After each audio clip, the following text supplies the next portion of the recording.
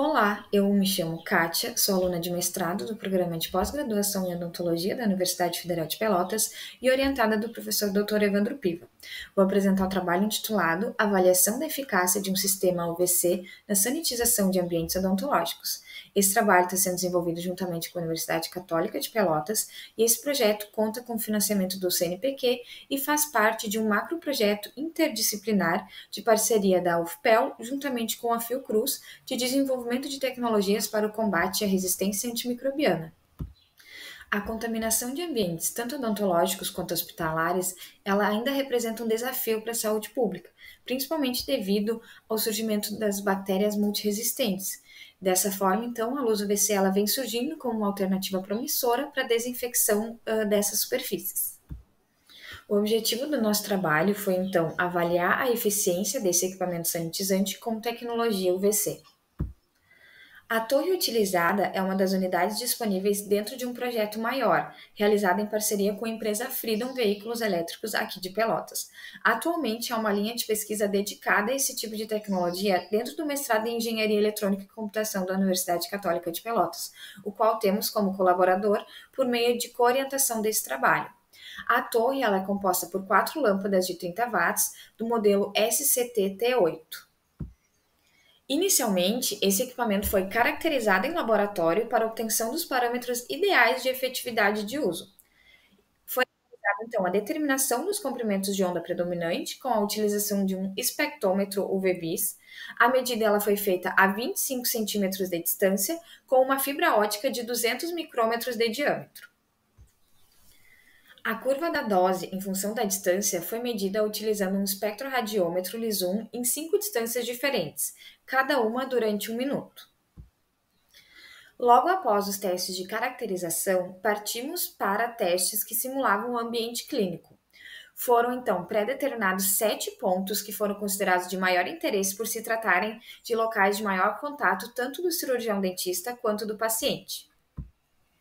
Quanto à operacionalização do estudo, então, foi realizada a coleta com suaves dos sete pontos pré-determinados. A torre ela foi acionada durante cinco minutos e foi realizada então uma nova coleta. As bactérias elas foram cultivadas e foi feita então a comparação do antes e do depois do acionamento da luz UVC. Além disso, um ponto importante de ser mencionado é que cada superfície foi dividida ao meio e apenas um dos lados foi previamente coletado, para avaliar se o fato de realizarmos a coleta, já poderia estar uh, realizando uma asepsia por esfregaço.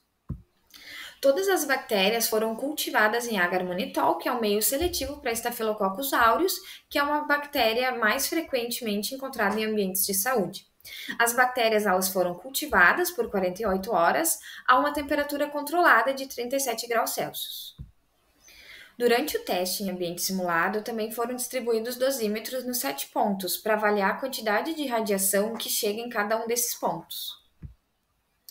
No teste de determinação dos comprimentos de onda predominantes, o espectro foi gerado no software LightScan, se identificou então um pico de maior amplitude em 254 nanômetros, que é o comprimento de onda mais intenso dessa luz, ele já é conhecido por sua ação germicida, e foram observados também um segundo e um terceiro pico correspondentes à faixa UVC, que tem uh, ação quase nula, e outro comprimento de onda uh, de luz visível, o qual não tem ação germicida. No gráfico da distância em função da dose do tempo, é possível observar que a dose da radiação ela cai exponencialmente conforme aumenta a distância da fonte de luz, como é possível observar na curva com os pontos pretos. E quanto mais afastado o ponto a ser irradiado, maior é o tempo necessário para se ter essa desinfecção eficiente, como pode ser visto na curva com os pontos vermelhos. Aqui temos um gráfico que apresenta os valores de unidade formadora de colônia antes e após a irradiação.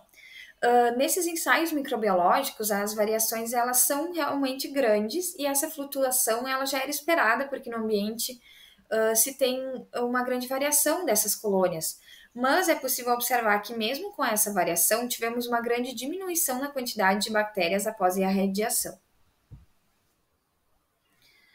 Nesse gráfico, é possível observar que, apesar de apresentar uma pequena diferença entre os pontos previamente coletados e os não coletados, a taxa de redução após o acionamento da luz UVC ela foi extremamente alta em todos os pontos. De acordo com a escala, quanto mais azul o dosímetro ficou após a radiação, maior a quantidade de dose que chegou em cada ponto. Dessa forma, então, é possível observar que os pontos mais próximos da torre receberam maior quantidade de radiação, ficando aproximadamente entre 12 e 27 mJ por centímetro quadrado. Já os pontos mais afastados receberam uma menor quantidade de dose, ficando entre 4 e 8 mJ por centímetro quadrado. A partir dos resultados do nosso trabalho, a gente pode concluir que a torre ela se apresenta sim como uma alternativa eficaz para a desinfecção desses ambientes, desde que ela seja operada dentro dos parâmetros de tempo e distância em relação à fonte. Além disso, ela se apresenta como uma desinfecção complementar, porque ela é uma desinfecção rápida e que não utiliza produtos químicos, o que diminui a possibilidade de ocorrência de resistência antimicrobiana. Neste QR Code é possível ver as referências completas para a elaboração deste trabalho. Gostaria de agradecer ao macro projeto UFPEL em parceria com a Fiocruz pela concessão da minha bolsa de mestrado, ao grupo de Engenharia Eletrônica e Computação da Universidade Católica de Pelotas pela colaboração no projeto e à equipe desenvolvedora da tecnologia em parceria com a empresa Freedom. Agradeço novamente a todas as empresas colaboradoras e deixo o meu contato para maiores dúvidas e sugestões. Meu muito obrigada a todos.